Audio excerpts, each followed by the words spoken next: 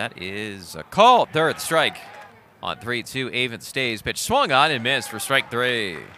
And at 3 2. Runners go. Swing and a miss. Strike three. 1 2 to Avons. That's an outside corner called strike.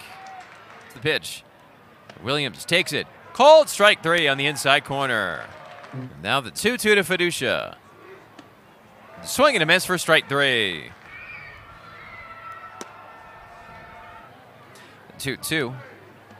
Swing and a miss. Groome sends it in. Swing and a miss, strike three.